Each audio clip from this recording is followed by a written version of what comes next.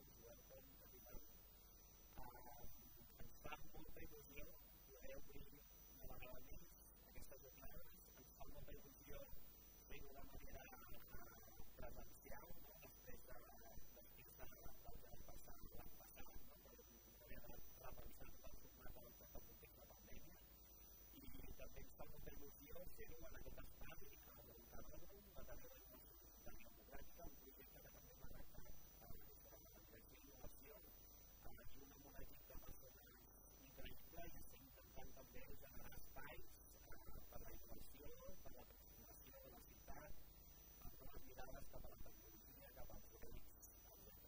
I és una mica també el vector que, que guia aquestes jornades. I, i llavors només volia donar unes paraules d'agraïment al principi de tot, perquè, eh, com sabeu, va haver aquestes, aquestes jornades que tenim per davant de tres dies, eh, hi ha una hi ha una gran caldria de fer per tot un equip de persones eh, que estaven fent l'equip possible i volia eh, començar la jornada donant un especial agraïment sobre tot el tema, la és qui ha portat una part de la direcció d'aquest festival i a tot l'equip la de innovació del Canòdrom i a tota la comunitat de la Civinca del que fa possible Llavors, eh, volia exposar a la regidora de l'Hospital de Sant Andreu, la Lucía Martín, que havia l'obertura des de l'Ajuntament, però hi haurà valors per la presentació de l'Ajuntament.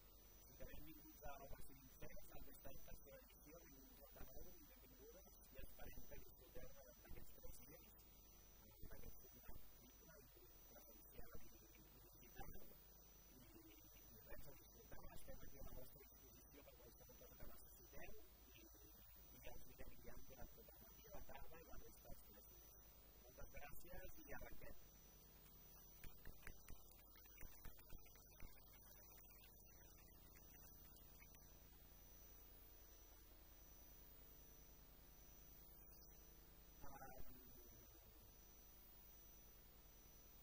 No sé si veureu la presentació, tenim una mica ja jugant-nos a la contra, però bueno, hem insistit molt en fer aquest.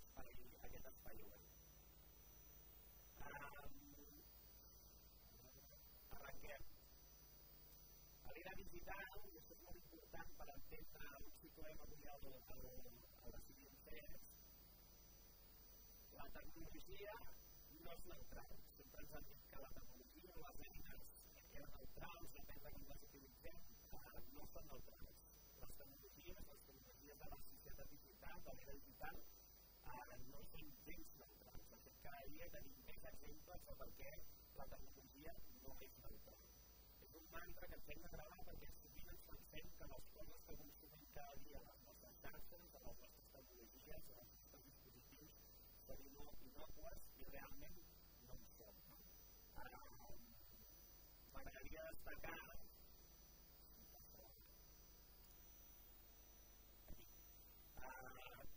volem els nostres amics de Facebook justament eh, ha sortit recentment ah, un estudi on demostra que ah, Facebook ah, eh, i l'algoritme de Facebook, que és el que prioritza els continguts en els nostres mòbils de Facebook, prioritza continguts que tenen a veure amb els discursos de l'odi. Hi ha estudis que demostren que tenen molta més circulació els continguts d'odi i els continguts de foment i violència, del, de l'abús, no? de, de, de, de la violència contra els altres, i, i tot i així eh, i no, no, no s'intervé directament en, en aquests algoritmes perquè deixin de fomentar els discursos de l'odi. Eh, I això passa precisament perquè menys odi eh, a Facebook vol dir guanyar menys diners, no? perquè vol dir menys atenció, menys tràfic i, i, i per tant no s'ho rentable. No? Per tant, i els discursos de l'odi i Facebook de moment doncs, encara van eh, estretament associats. També trobem eh, escàndols perseguint les, les plataformes vinculades a Mark Zuckerberg, en el cas d'Instagram, eh, que els impactes que estan tenint, en aquest cas, a molts nivells, però per donar-ne una dada també recent, els impactes que té, per exemple, Instagram amb, amb les joves adolescents traient una enquesta també amb l'informe intern eh, que deia que el 32% de les noies, eh, després de mirar Instagram, es sentien pitjor amb elles mateixes. Eh, per tant, eh, Instagram eh, no és net, no és neutral, no és neutre, no és innocua i també té una sèrie d'implicacions eh, sobre el comportament de, doncs, en aquest cas de, dels joves i de la formació. I també eh, l'últim escàndol que també hem pogut veure en el cas de WhatsApp és amb el tema de la vigilància. Eh, es va, va sortir la notícia recentment també que eh, Facebook tenia eh, un miler eh, treballant dins de WhatsApp, tenia un miler de persones que es dedicaven a revisar converses privades, missatges, diguem, personals no? entre les persones, per tant, eh, vulnerant el dret a la privacitat, vulnerant el dret a la intimitat, eh, drets fonamentals, perquè precisament eh, WhatsApp considera, amb les seves pròpies regles, que pot eh, espiar les converses eh, que tenen, és crec que són eh, dos milions d'usuaris a tot el món, que és el que té, és el que té WhatsApp. A més a més, la tecnologia, si algú estem veient aquests darrers dies, i també parlarem molt durant el, el la tecnologia no és infinita. No és una cosa, no és un, no és un recurs que no s'acabarà mai. Uh, produir tecnologia té uns costos, uh, els servidors tenen uns costos, les connexions tenen uns costos, la producció i els materials que consumeixen aquestes tecnologies, l'energia, etc. Per tant, la tecnologia és finita i per per, la tecnologia ho hem de fer amb aquesta qualitat. Gràcies. Uh, de la, la, la setmana passada, fa, fa, fa poc més de, si fa fora 10 dies, vam veure una caiguda de Facebook, uh, d'Instagram i de WhatsApp, crec que va ser al voltant de 6 hores, no semblava una mica una, una, una catàstrofe mundial, una crisi global, però una caiguda tan gran durant tanta estona de serveis de comunicació tan crítics no, per la societat, realment va generar un impacte molt gran. Eh, el primer que va passar, òbviament, és que les xarxes omplir de memes, no? aquests memes, eh, com que el Twitter seguia funcionant, doncs, eh, semblava que el Twitter estava aguantant a tota la societat eh, interconnectada, però les implicacions d'això són molt més grans. Tenen a veure precisament amb la centralització, com pot ser que quan hi ha tantes plataformes que estan concentrades en mans de tan pocs i estan concentrades en uns servidors tan centralitzats que òbviament l'impacte eh, és majúscul. Per no parlar, òbviament, d'una cosa que també parlarem durant aquestes jornades, eh, de l'impacte eh, de l'impacte en termes d'emissions del, del que costa la tecnologia. Eh, un estudi també recent diu que el Facebook eh, produeix a l'any aquestes 330.000 tonelades de diòxid de carboni, que és l'equivalent més o menys al que, el que generen 85.000 cotxes. Però és que no, no només això, si això les dades de Facebook, però si de Google, eh, crec que ens en diu els 15 milions. Si l'impacte que tenen els servidors, les màquines i totes les connexions i els cables que generen Facebook, Google, etc., tenen un impacte també climàtic, és a dir, que hi ha, una, hi ha un consum energètic eh, molt gran associat. I aquest consum, a més, eh, creix i creix cada cop més amb una cosa que també ens pensem que és inocua, que es diu intel·ligència artificial, es diu processament de, de, de dades i que sovint ens pensem, quan parlem del que implica els grans processaments de dades, ens pensem que que també és una cosa neutral, depèn de les utilitats que li, que li donem, però el sol fet de recollir dades i el sol fet de processar-les, per molt senzill que sigui el processament, ja té un impacte a nivell energètic molt gran. No? Uh, també veurem qüestions relacionades amb els kits i l'escassetat de materials que existeix en la producció de, doncs, dels microchips. No? Tots hem sentit a parlar dels problemes associats a les cadenes de muntatge dels cotxes per culpa dels chips. No, no són els materials primaris, no són els eh, no, són els, no són les dues rodes, no? precisament és els, uh, una peça tan clau com el que fa funcionar tota l'electrònica uh, de, de les nostres vides. I per últim també eh, la qüestió si passa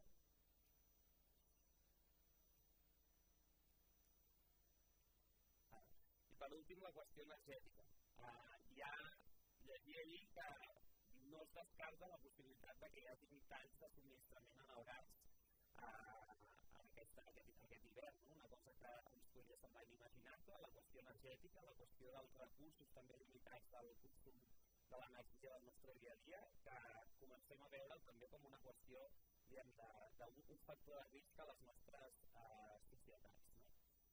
Um, de fet, la tecnologia és poder. Uh, la tecnologia, la tecnologia eh, té molt a veure amb el poder. No? Um, sempre parlem de les GAFA, uh, de, la tria d'aquesta, no? de Google, d'Amazon, de, de, de Facebook, de Microsoft, en realitat, mirant dades actualitzades, ja no li hauríem de dir GAFA, sinó li hauríem de dir a no? perquè diguem, el, el conglomerat és una mica més gran. És Apple, Microsoft, Amazon, Alphabet, que és Google, Facebook, però també Tencent i, i, i Alibaba, no? que són les grans tecnològiques que realment avui eh, dominen el món. Però dominen el món a nivell d'usuaris, a nivell d'economia, però si mirem a la capa dels servidors, pràcticament el 50% dels servidors mundials que també estan creuats entre aquestes eh, empreses són, d'Amazon. O sigui el nivell de, de, el nivell de control i de poder que existeix en el món tecnològic, pues, òbviament, és, és, supergran. Uh, I la desinformació, que és el que circula, que és que circula per totes aquestes xarxes, doncs, òbviament, uh, també és poder, no? Uh, vivim ja en aquest món on cada cop costa més diferenciar entre la realitat de la ficció, les dades reals de les que no són, les informacions uh, veraces de les que, de les que no ho són. No?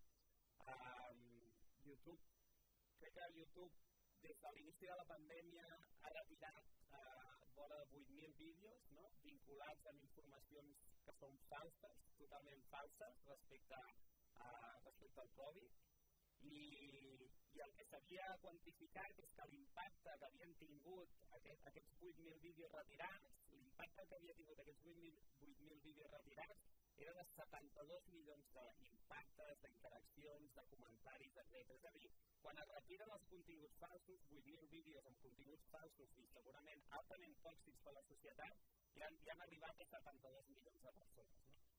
Sigui que l'impacte també en aquest sentit és, és molt nefast. Uh, I què passa amb la democràcia? La democràcia, pues, per desgràcia, també està ple de bugs. No? Bugs són, com li diem, uh, els errors, no? els errors informàtics. Uh, ho hem vist en el cas de la intel·ligència artificial i com la intel·ligència artificial molts cops acaba reproduint desigualtats, acaba reproduint formes de, de racisme.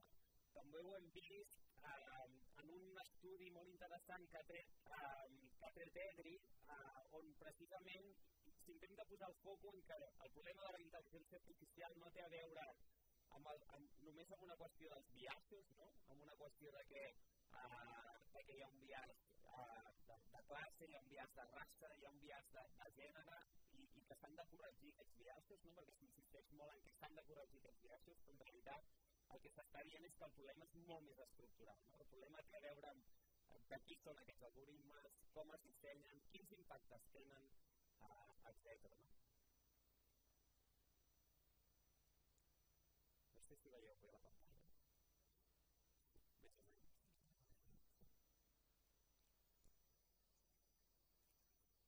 la democràcia té molts bucs, no?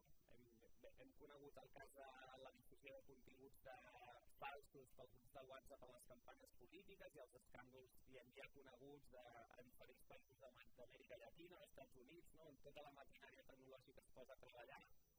I per últim, eh, no passa això, eh, i per últim també aquesta necessitat, que també va molt vinculada al projecte de Seguim, que té a veure urgència de, de, de canviar, de modificar, d'amplificar les formes de, de participació, les formes de democràcia i que la, la democràcia deixi de ser uh, una democràcia representativa on votem cada quatre anys i on hi ha una absoluta insatisfacció per part de la societat uh, sobre aquest model. No? Uh, la tecnologia no és democràtica per defecte, tenim el 50%, de la, el 50 de la població desconnectada al món encara, uh, tenim molta violència a les xarxes, molta violència especialment contra les dones, però molta violència en general a, a, a la capa digital, tenim també eh, molta desigualtat en l'accés a la tecnologia. No? Eh, hi havia aquesta dada no? que una persona a Sierra Leone ha de treballar 194 dies per aconseguir un telèfon mòbil. No? I després eh, tenim també moltes desigualtats en termes laborals que generen les noves formes de, de, les, de les economies de plataforma.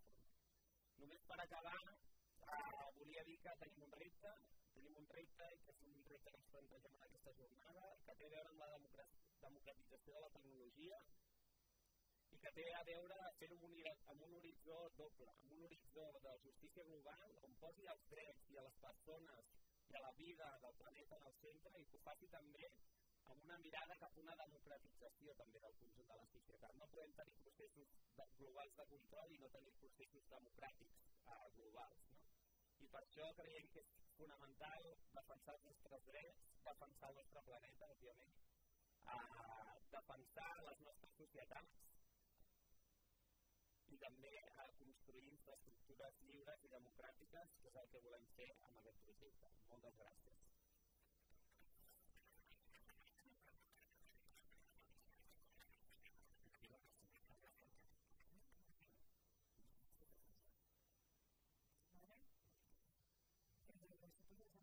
també gràcies a Arnau eh, ens va donar una panoràmica molt bona sobre els grans temes, les grans qüestions que pretenem abordar durant aquests tres dies de conferència, però que com sempre volem posar també en diàleg amb el decidim, no? i pensar també quins tipus de processos i iniciatives eh, s'estan posant en marxa eh, per abordar aquests reptes que hem d'acabar de, de realitzar.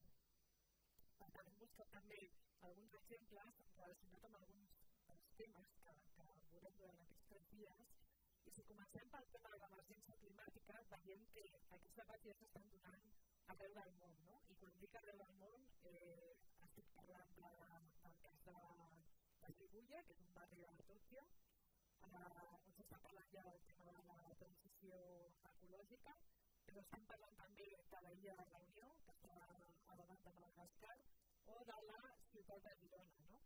He posat tres exemples distribuïts geogràficament per doncs, que si desgraciadament la justícia i la democràcia ara mateix no són globals, el que sí que està clar és que una crisi com aquesta és d'escala planetària i és probablement la qüestió més urgent que tenim per, eh, per endavant, per, per abordar.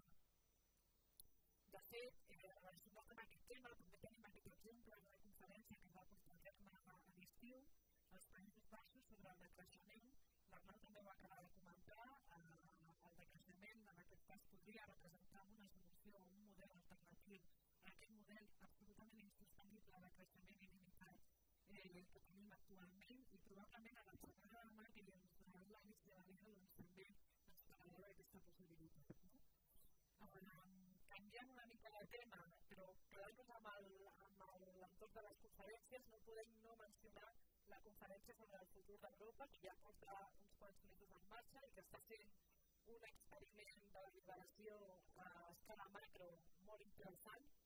Ara mateix estan realitzant alguns panels eh, ciutadans i divendres, que serà el dia íntegre que tindrem per conèixer les experiències de la civil, doncs podrem conèixer més detalls de l'organització interna de la conferència a través del Paulo Rosa, que és una de les persones eh, que treballa a la comissió i que està al capdavant de, de l'organització.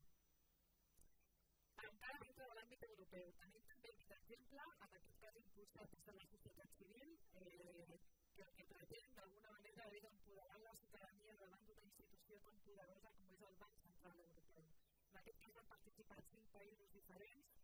L'objectiu era d'una banda informar a la gent, eh, informar-la per comprendre millor com s'elaboren aquestes polítiques des d'aquesta institució i a la vegada, a través de l'organització d'algunes assemblees ciutadanes, s'ha elaborat un catàleg de propostes per cada país i per, per millorar d'alguna manera el funcionament d'aquesta institució i la setmana vinent també hi ha una trobada a Brussel·les per posar en comú totes aquestes propostes i a eh, parlamentaris europeus.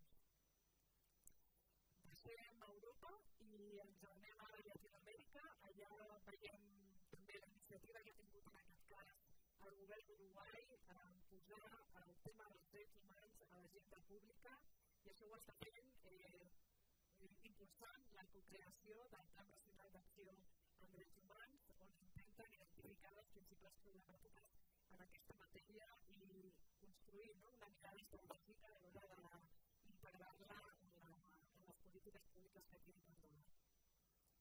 Però no només des de la capa més institucional s'estan posant en marxa processos d'aquest tipus, els moviments socials de Llatinoamèrica també s'estan autoorganitzant. Durant aquests dies s'està portant a terme una consulta popular sobre la privatització de serveis públics i de, de venda de patrimoni públic a l'estat de Rio Grande eh, do Sul, al Brasil. I tenim també a Chile un conjunt, un col·lectiu d'assemblees locals i activistes del programari lliure que s'estan organitzant per llançar aquesta plataforma que permeti crear una xarxa d'assemblees locals o de cabildos eh, que puguin construir mandats conjunts i elevar també la seva veu en el procés constituent que s'està portant a terme en el, en el país.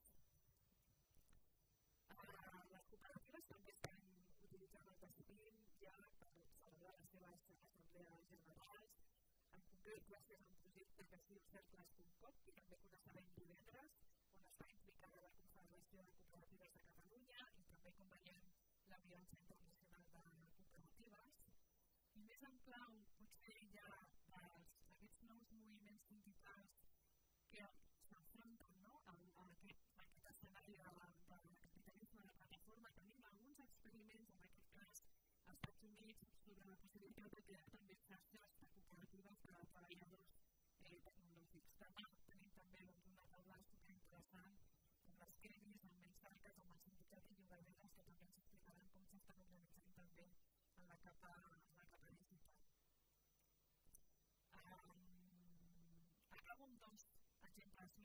Un és aquesta, aquest projecte, aquesta col·laboració que ha posat en marxa l'Institut Venturi amb una altra organització eh, que es diu Open Partnership for the Artificial Intelligence i el que pretenen és posar en contacte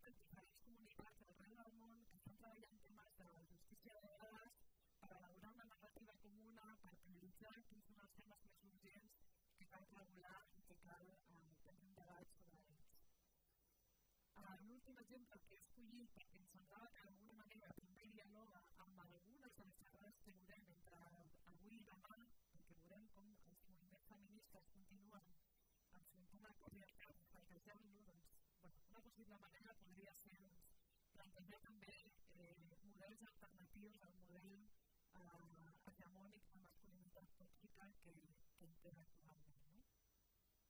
Al final, totes eh, el que tenen és una cosa en comú i és que estan utilitzant la mateixa infraestructura digital, una, una plataforma de programari lliure, ja ho sabeu, que, que desenvolupem de manera col·laborativa i oberta, que millorem cada dia i que, per tant, em permeteu que us faci quatre punts ràpids en el que hem estat treballant i quines seran les properes fites del roadmap a partir d'ara. Eh, L'últim any ens hem centrat sobretot en adaptar-nos i intentar adaptar-nos ràpidament al context pandèmic que ens ha tocat viure i, per tant, hem posat moltes energies en millorar la capacitat de les trobades a la Sorin, de manera que puguem tenir a la nostra assemblea la nostra videoconferència, inclús cada que puguem prendre notes de manera col·laborativa. Aquí, a la pantalla esteu veient una feature que just vam treure la setmana passada i és aquesta possibilitat de poder a plantejar preguntes en temps real als teus assistents a l'assemblea o a la trobada i poder rebre també respostes en temps real, de manera que puguem prendre decisions de manera síncrona. No? Creiem que pot ser útil per moltes organitzacions i també doncs, ens ha tingut molt ocupades el desenvolupament del sistema de votació electrònica que ha sigut doncs, eh, tot un repte tecnològic, criptogràfic, però que ara mateix doncs, ja està acabat el desenvolupament. Estem en aquest moment realitzant una auditoria per identificar possibles vulnerabilitats i corregir-les i farem també una simulació d'una votació real per acabar de comprovar que tot funciona com ha d'anar així que treballem que a principis d'any aquest nou espai estarà aprovat, estarà autoritat i preparat perquè qualsevol organització pugui realitzar votacions segures en decidir. En què ens hi posarem ara? Una d'ella eh, demanda, de fet, és una de les coses que teníem a la primera roadmap uh, ja per 2016, és tenir una aplicació mòbil per decidir per motius varis fins ara no? Hem disposat dels recursos per, per posar-nos-hi, però les dades són tossudes i ens diuen una i una altra vegada que la participació passa majoritàriament per dispositius mòbils. I ho hem comprovat amb el procés de pressupostos participatius que s'ha fet a Barcelona aquest any, on dèiem que el 60% de, de la gent doncs, accedia per algun tipus de, de dispositiu mòbil. No? Per tant, necessitem una app que ens garanteixi doncs, una bona experiència. I parlant d'experiències, doncs crec que no m'equivoco si és un fet objectiu eh, que tenim ara mateix doncs, no ofereix la millor experiència possible. I això és el més normal del món perquè portem 5 anys desenvolupant sense aturar-nos en cap moment i no només això, no només hem anat afegint funcionalitats i repassem codi i traiem-lo i tornar-lo a posar, sinó que això ho fem de manera col·lectiva amb moltes contribuïdores, amb molts deadlines i prioritats diferents. Per tant, és normal que generin aquests reajustos en el sistema de disseny i ja per si eh, ens dediquem un temps llarg, 18 mesos, eh, per tant, el decidim fer de l'any que ve us podrem explicar com està anant, però encara no haurem acabat, per repensar tota l'experiència de participar en la plataforma en clau d'usabilitat i accessibilitat. I no ho farem soles, eh, i no ho farem soles, sinó que ho farem, com sempre, amb la comunitat. A partir de dilluns que ve llançarem ja un procés que ens ha de permetre fer una diagnosi col·lectiva eh, per començar a treballar en els primers mockups. Uh, per últim, a nivell de roadmap, comentar-vos que en aquest cas des de l'associació de civil, que sabeu que és la comunitat organitzada, uh, disposem per primer cop d'alguns recursos econòmics per fer també contribucions al projecte comú i una d'aquestes contribucions és disposar d'un instal·lador per decidir. I ara mateix, doncs, eh, és una de les barreres d'accés que tenim. Moltes organitzacions petites doncs, probablement no compten ni amb el pressupost ni amb els coneixements tècnics per posar en marxa una instància i segurament amb aquest instal·lador doncs, aconseguirem que moltes més organitzacions puguin experimentar una plataforma. També llancem la tercera edició del programa Decidim Fender i agafem el relleu de l'Ajuntament de Barcelona, que ha fet les dues primeres. Sabeu que aquest és un programa de beques per dones i persones de gènere no binari que volen aprendre a desenvolupar un decidir. A l'edat que tenim de gènere és escandalós, eh, ara nosaltres tenim un 10% només de dones contribuïdores i encara, eh, encara estem una mica millor gràcies a les edicions anteriors de la mitjana dels projectes de persones que normalment oscil·len al voltant del 6 o 7%. Per tant, des d'allà podeu entrar al blog de Decidim, allà les persones que estigueu interessades trobareu tota la informació, obrim avui convocatòria fins al 5 de novembre vaig acabant. Uh, també, a títol informatiu, hem rebut diverses demandes de persones que, a més de participar en el projecte d'una manera o d'una altra, i en la comunitat doncs, volen implicar-se més en la governança a través de l'associació. Hi ha activa a la que decidim a la via d'admissió per persones individuals que vulguin doncs, eh, fer-se membres. Eh, allà trobareu directament, clicant en aquest botó que no sé si el veieu, doncs, eh, accedireu directament al formulari d'inscripció dues slides i acabo. Uh, volia acabar amb les dades que tenim ara mateix del projecte. Ahir a la nit vaig estar revisant les dades que donava la CNAU l'any passat i la veritat és que és impressionant. L'any passat parlàvem de 200 instàncies repartides en 20 països, pràcticament hem doblat, estem ja quasi a les 400 instàncies, amb 10 països més, arribant a aquesta xifra simbòlica d'un milió de participants a totes les instàncies de decidim i més enllà de les dades, això eh, representa un èxit col·lectiu de tota la comunitat que treballa cada dia per estendre aquest projecte perquè jo sí que no hi ha cap eh, departament de màrqueting que estigui posat amb el, amb el tema. No? Per últim, acabo amb una bona notícia, i ja la podem fer oficial, decidim ara mateix ja finalista a uns premis que atorga la Unió Europea eh, sobre projectes polítics valents i creatius, que diu el títol, així que el desembre estarem al desenllaç, però en qualsevol cas un motiu per, per felicitar-nos tots. Res més, us desitjo que gaudiu molt de la conferència d'aquests dies i res, aprofitem que ens podem tornar a trobar per a conspirar un altre cop juntes i, i posar-nos al dia. Gràcies.